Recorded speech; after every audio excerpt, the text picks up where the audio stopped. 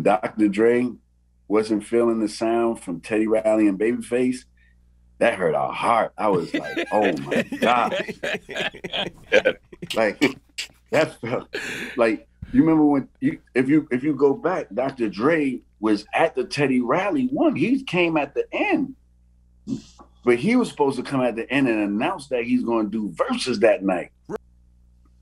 I think I don't think he was going to announce who he was battling. I think he was going to announce like, "Yo, I'm, I'm ready. I'm coming. Just be ready. I'm yeah. coming." He was going to hit them with something. Then he got on the phone. He was like, "Man,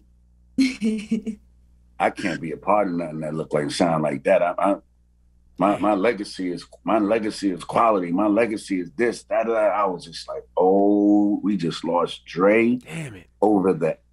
What? Like it just felt that that was that that one felt felt pretty crazy. But since then the energy's been